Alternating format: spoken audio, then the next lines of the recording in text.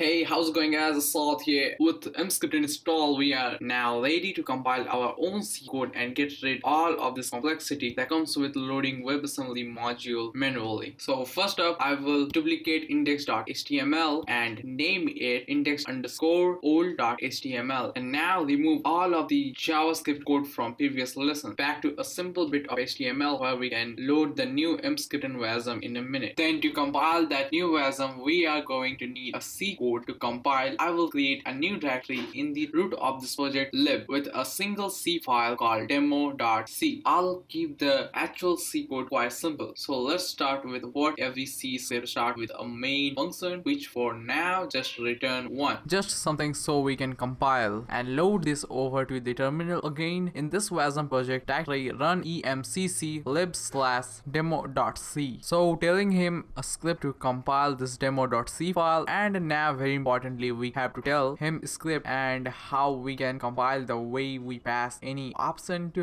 Emscripten. And then it's with the s flag setting the option name to equal option like this. And in this case wanting to compile demo.c to WebAssembly module we can set random wasm option equal to 1 so it's true. And with the flag o while we want the registering file to be output slash demo.js note that this is a demo.js not demo.wasm Wasm, remember? Emscripten can generate all of the code and the helper function we need to load and use the compiled WebAssembly module, all of which will be created in this output file, demo.js. Enter, that's done without any errors, so we know it, it worked. And when we check back in our project, we know both demo.js and demo.wasm. This demo.js being Emscripten and glue code for loading and using fcomping wasm. So how we load our wasm, then back to index.html, all we actually need to do is link the script in JavaScript, a new script tag with source. So linking an external script pointing to demo.js, save this, restart the server, go back to browser, and nothing. Not that we are expecting anything to happen, check the sources tab, and there you have it. Our WASM has been loaded by demo.js script. You might also recall I mentioned earlier that Emscripten will take care of our browser while the latest instantiate streaming method isn't working, or when the method uploading a WASM cannot be used due to incorrect MIME type. Remember we have to set the MIME type to be an application slash WASM in our test server for instantiate streaming to work. Let's see what happens when we removed it. Simply comment that line, reload the server, try again by reloading. Sure enough, WASM streaming compiled failed. Of course being due to incorrect MIME type, falling back to array buffer instantiation. So automatically taken care of by Emscripten without us having to write a single line of code. Being confirmed the web WebAssembly module had loaded and there it is as before. I'll also change the server back to its former state. Keep in mind we all still need to reload this again. So without